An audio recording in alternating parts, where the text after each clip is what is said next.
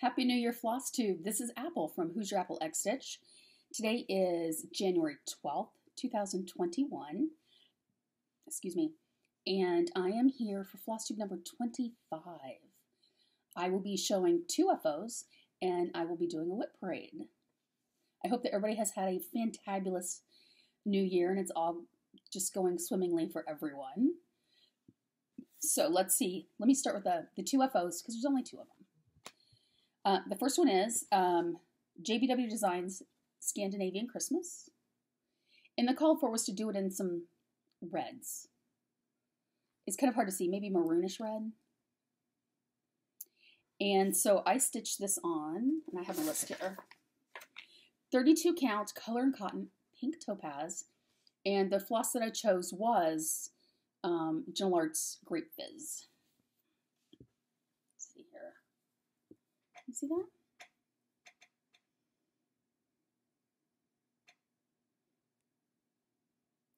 It was it was a pretty easy stitch. Um, it was a lot of fun to do. It's one of those you could pick up and just do one little motif and feel like you've accomplished something and set it down. I really, really enjoyed that. And that was my first JBW design as well. My other FO is probably the one that a lot of people finished on January 1st. Uh, Stitchin' Mommy's Temperature Tree. I did mine on 18 count Aida in pewter color and cotton. And here we go. There we go. Um, in case you're not familiar with Stitchin' Mommy's temperature charts, each uh, branch represents a month, and each leaf on that branch represents a day, and the color of relief is determined by the high temperature of that day. That was, I really enjoyed doing that.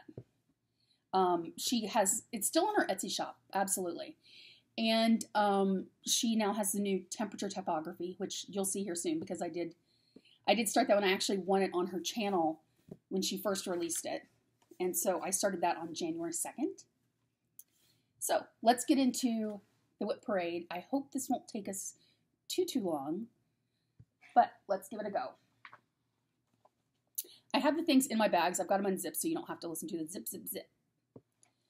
Uh, the first one I have is Jardin Privé's Red Christmas. And let's pull it out here. Maybe this wasn't as organized as I thought it was going to be. In every one of my things, I put a little card with the information on it. Um, it's on 32 count Belfast linen and cream. And this pattern actually came uh, with a green conversion. I don't know if you can see that down here.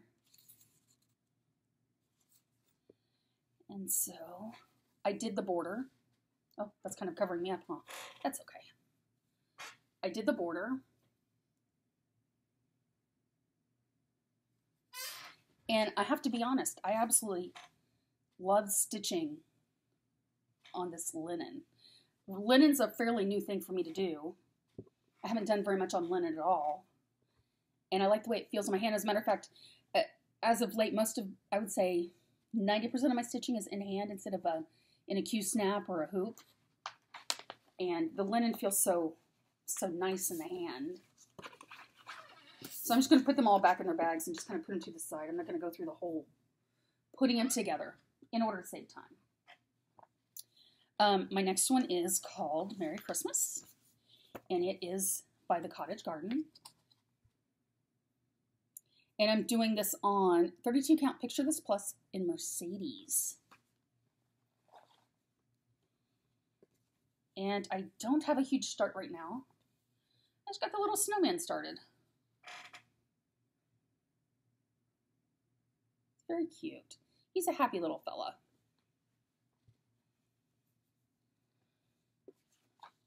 I'm just going to put the things on top and put it back together later. Um, the next one I have is probably one of my oldest WIPs. It's from 2019, so when I say old, 2019 is old. And it's Patriots Helmet by Boston Needleworks. My husband got this for me for Christmas in 2018, I believe, because I'm a huge Patriots fan. And I'm doing this on 14 count Polstitches in Mummy's Curse. And this is what I have done. Not a lot. As a matter of fact, I'm contemplating actually switching this to linen. I haven't fully decided yet, but I kind of feel like I might enjoy the stitch more if it was on linen. Uh, my next WIP is one that I'm doing for my oldest brother. And uh, it is called American Flag by Unicorn Light Designs on Primitive Hare, 30 count linen, and Constitution. This is what, let's see, let me get the glare off here. This is what it looks like. He is a Navy veteran as well as my niece, his daughter. And so I'm actually going to be putting their names and dates of service in there. Um, and his father was a Marine veteran, so I'm going to put his name there as well. I just got to find the upside. Oh my goodness. Here we go. This is what I have done so far. I don't have a lot, but I got a, I got a pretty good start. I think when it's done, it'll be really, really nice. This is the first time I've used the Primitive Hare linen. And it gets really wrinkly, but nothing that can't be Um, my next one is Portrait of Antique Vines. It's a very tiny Mirabilia that I've done on 28 count Picture This Plus in Moon Glow. And Here's what it looks like. It's tiny. It's adorable. It's out this very tiny little Mirabilia 25, sorry, 25, 25th anniversary celebration. And I've got everything done except for the back stitching and the beading. It's absolutely adorable. I um, I'm participating in WIPGO, and she's on my WIPGO board. As a matter of fact, she was pulled for January. So I will be getting to her pretty soon, I hope, to get the beading and the backstitching done.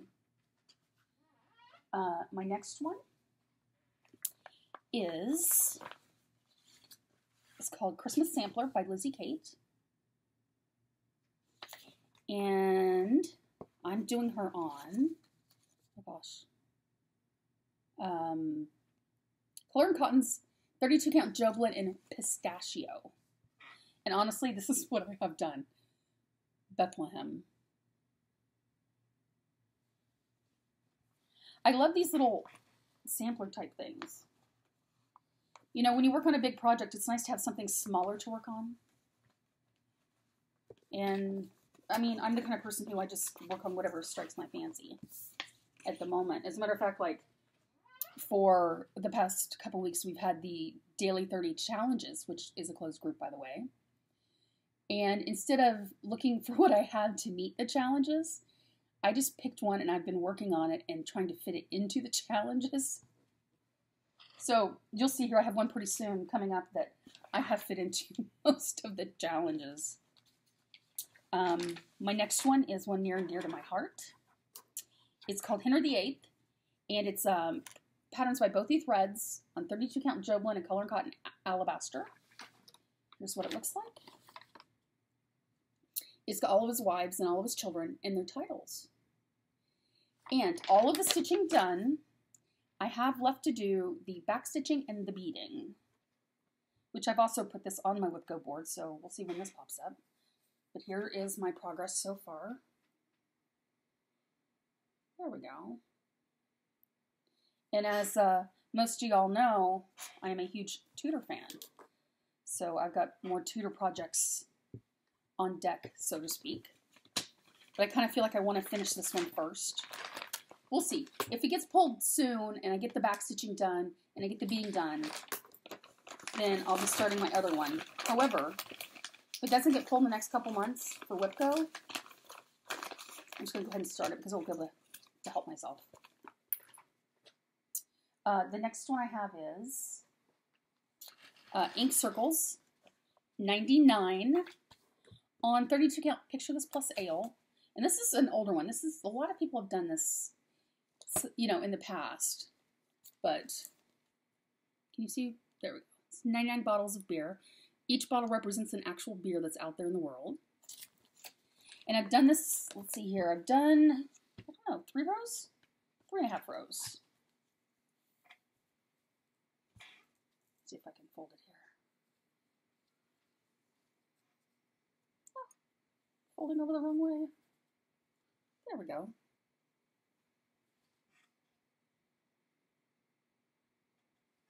I really thought that when I started this, those beer bottles would be just a breeze to knock out. There's a lot of color changes in them, but I'm still enjoying the stitch. I mean, that's the point, right? Just to enjoy the stitch. And that's what I've been doing. Up next I have, oh gosh, so here's the thing. I am wicked behind. Uh, in fall of 2019, Gary of uh, Sunshine Stitchers slash Gary on Toten Bags did a sale of an Autumn Quakers. And then, you know, in uh, December that year, they started the Winter Quakers. And then last year was the spring and the summer and still in the winter. For whatever reason, I lost my my desire to do it. And I still have the summer and the spring ones that I have yet to start. But here's what it looks like. Winter Quakers by Rosewood Manor. And, oh goodness, here we go. Oh, I have it on 28 count Picture This Plus Dwarf, which was what came in the kit. And I am using the called for Valdani flosses. And is this up? This is, is this up? This is up. Oh my goodness, this is up. Sorry. And this is where it's at right now. I have a long way to go. Luckily, there is, since I've already missed the deadline for all the other Quakers, I have no time frame in which I need to, fi to finish it. Just finish it when the, the fancy strikes, right? Uh, next I have, let's see, I've where did I see this? Sammy J. Stitches was working on this. Was it last year or the year before? Anyway, it's called World's Postage Jam by Soda Stitch. And I'm doing it on 20 count Summer Sky Mystery Fabric. I started in July of 2019. And the fabric, hmm, I don't know who makes it because I bought it at Keepsakes when I went to StitchCon in 2019. And there was no, like, it didn't say who it was by. So I'm just going to call it Mystery Summer Sky. Here's what the pattern looks like. And I've, I mean, I've made significant progress, I believe. Let's make sure the needle doesn't jump out and. Let's see if I can hold it back far enough. I'm going to have to scroll it here. I've got the basic outlines done.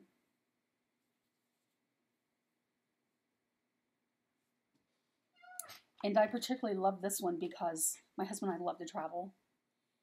And we've been to quite a few of the places on this.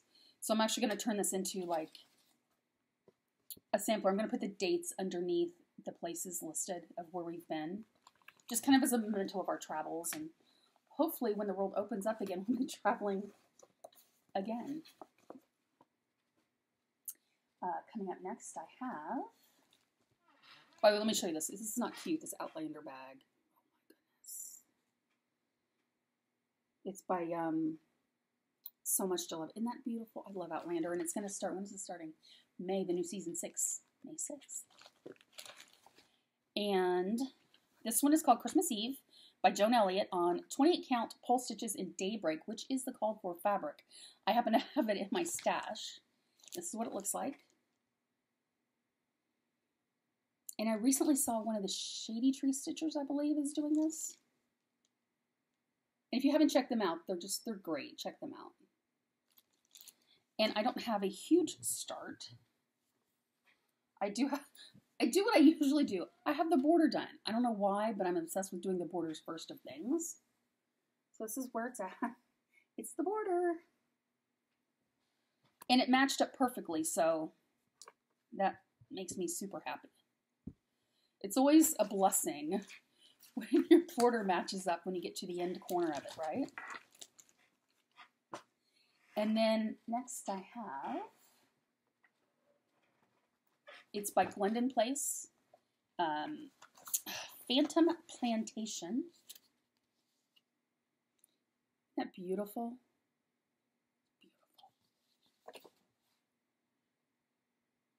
And I am doing this on 20 count Lugana, excuse me, Ugana, Ugana, Lugana, in Under the Sea Fabrics in Avalon. And I've never used Under the Sea Fabrics before. And it's been a while since I've worked on this. You can tell because it's actually in a hoop.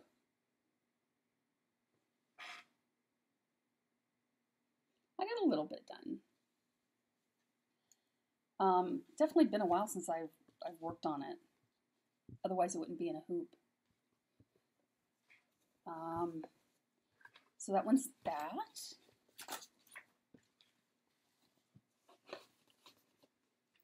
goodness, I'm hoping my pile doesn't tip over here. I'm fairly close. Um, this is one that's actually on a timeout right now. If I can find the fabric here. It's United States Navy. It's the um, seal, the naval Navy seal, which I'm also going to be working on for my oldest brother. But I want to finish the American flag one first that I'm doing by Cody Stitch, Cody Cross Stitch. And I'm doing this on Vintage Needle Art's Silvery Star. I just, I don't know where it went. I had a card here. Hmm. Each one of my projects has a card. So, oh, here it is. Just so that I can remember. And I'm not fond of this fabric. It's very kind of a stiff Aida. It's not very fun. It doesn't feel nice on the hands. And this fabric's it's white on the back and colored on the front. I, maybe that's why it's so stiff. And that's just kind of I don't know what's going on with the threads here, but there we go. That's kind of what I have done. Oh, you know what? It's wrong. It goes like this because that's a shield in the middle. That's been on timeout for a little while and it's probably going to stay on a timeout until I finish the flag. Because I saw that and I really kind of wanted to get that done.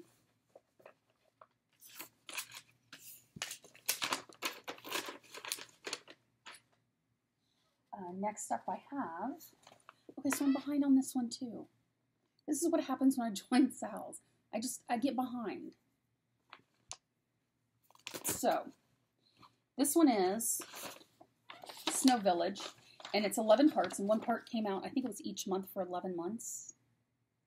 It's adorable, and I love snow and I love snowmen. So you would have thought I would have kept up on this. No. And I am doing it on um, the Snow Village just by Country Cottage. I'm doing on 16 count French Country Rain. And it's a very soft, like ate it. Super soft.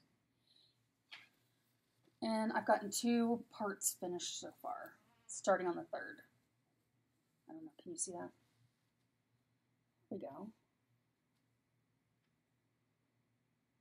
Snowmen are just too cute. Too cute for words. I hope to have I hope to have this one done by the end of this year. But I won't tell you what my grandma used to say about wishing. It's it's not polite for a floss tube.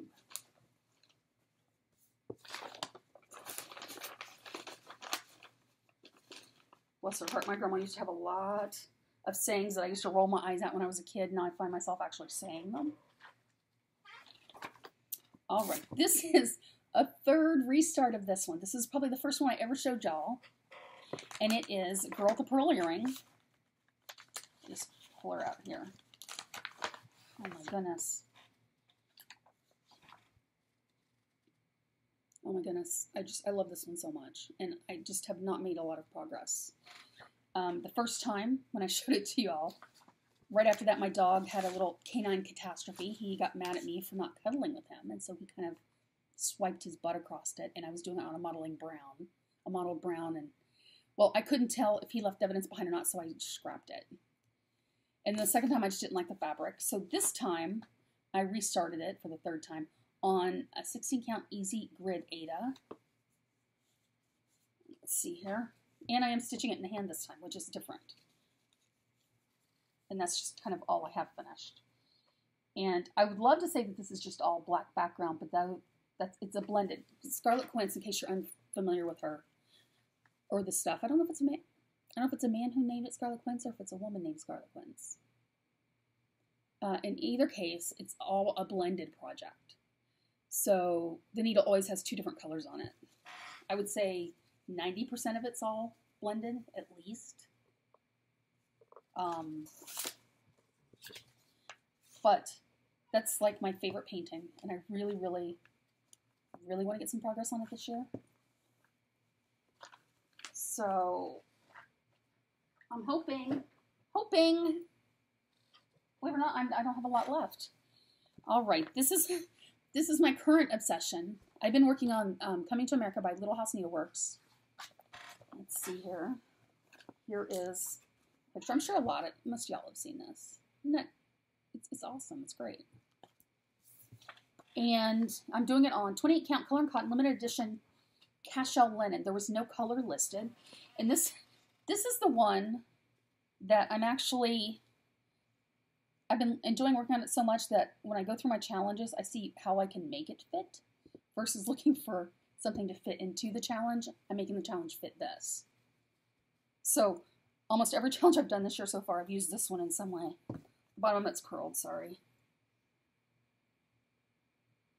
And I would say I'm at least 75% done.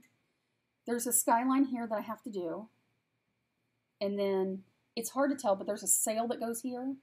And then some back stitching for the, the rigging ropes on the sail. And as soon as I finish this one, I'm going to actually start. I have uh, the Women of the Mayflower, which I'm excited to start. But I want to finish this one first. I think why I've been kind of pushing this one. Um, my next one is a new start-ish. I joined the Funky Menagerie SAL by Lindy Stitches. Part one was just released. And I think it comes out every six weeks. I think six weeks. I'm doing on 32 count Belfast linen pearl gray, which is this beautiful linen. Let me just take the needle out here. And I started it. I did. And then I realized I totally miscounted and it was in the wrong spot. So I frogged everything out. So now I have nothing.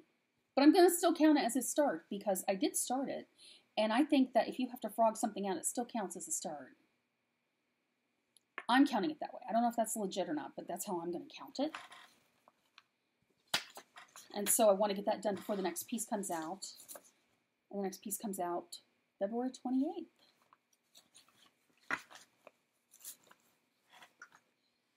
Um, next, another SAL. This SAL I've actually kept up on this one. This is the Winter SAL by Stitchonomy. And every three days a part of it comes out. I don't have a cover picture to show you because it's just the pattern. And I'm doing it on what she called for was a 16 count Aqua Riviera. And I'll show you where I'm at so far. Now, I wasn't fond of the fabric because I thought the fabric, some of the stitches got lost on the fabric until it kind of started coming together. And I can see a little better now what she was attempting to do. But I'm still not sold on the fabric color. So that's fun. And that's easy. You know, you get one every three days. It, it doesn't take long to kind of pop those little motifs in. And honestly, it gives you a little break from whatever else you're working on if you need a little mini break. And if you get behind, it's easy to catch up on that one as well. Can you believe it? I'm down to three left. Who knew I had so many? I used to be a monogamous stitcher. Can you believe that? Who knew I had so many now?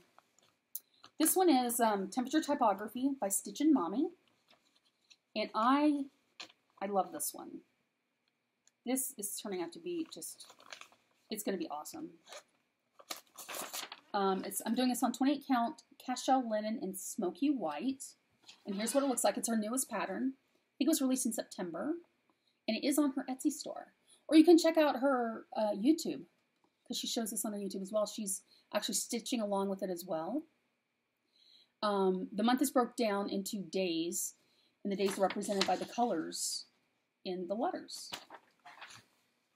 and I think I'm two days behind, but I'll show you. This is where I'm at now so far. I just got the J and the A. It's gonna be pretty. It's, it's I don't want to say it's a tie-dyed look, but it's all, it reminds me of a tie-dyed look. And that's where I'm at on that so far. I have to catch up with it because I think I've only through the ninth, maybe. Um, this one I have to blame Kim Hollenbeck for. In the nicest way possible, she enabled me. I was watching her videos and she's working on this one, which is the Templar Prophecy. And so, let's see, let me find the cover page. It's a Long Dog sampler. And I am doing this on 32 count Silver Moon Belfast linen. And you can choose your own color. So this is what it is so far. Is there too much glare? How's that? Well, that's better. And so I'm actually using Sulky Threads. take this off here. I don't know what the color name is. I honestly, I don't know. But it looks like the color is 713. It's beautiful purples and blue, like a teal blue. And for this, you only use one, you, there's nothing to separate. You just use it as it comes off the reel. The reel, the bobbin. And let's see here. I do not have a lot done, so I'm just going to bend this over. It's going to be huge. It's, it's, look. And this is what I've gotten done so far. Just the corner. Just enough to, to get a start on it. I'm very much enjoying that one. This back in here. And I have one more, which is my largest. And to be honest with you, I honestly feel like I might, I might restart this on linen. Um, because this, I'm just not very fond of this fabric. Oh my goodness. This is, I'm doing Pandemic on Vintage Needle Arts 18 count in um, Sea Glass, which is a green. And I think we've all seen this. It was, for a while, it was free when it first came out.